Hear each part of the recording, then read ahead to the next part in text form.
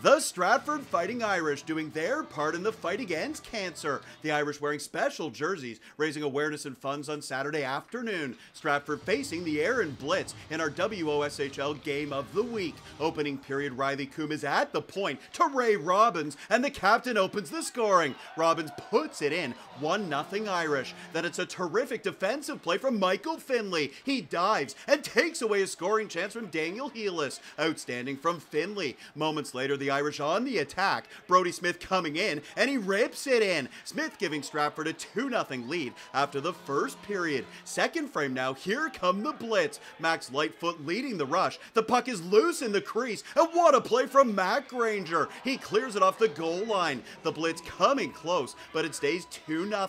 Back the other way, Maverick Petrie digs it free in the corner to Matt Fuller, and he extends the lead. Fuller with a blast. He makes it 3 0, and the Irish keep coming. Graham Brulot with space on the near side, and he's got a goal. Brulot and the Irish with a four goal advantage, and they strike again two minutes later. Sean O'Brien brings the puck in front. It goes to Warren Gorman, and he makes no mistake. Gorman and the Irish with a 5 0 lead after 40 minutes. Let's move to the third. This is Sean O'Brien to Cooper Leach, and he buries another one. Stratford in control with a 7 0 lead, and their offense not done there. Mitchell Casey intercepting the pass, and it's a rocket from Casey. He makes it 8 0 for the Irish. The Blitz now trying to break up the shutout, but how about Darren Smith? He makes two huge saves, denying the Blitz. Smith would end up posting a shutout, and it's an Irish victory. They take it by a final score of 8 0 on Saturday afternoon at the Allman.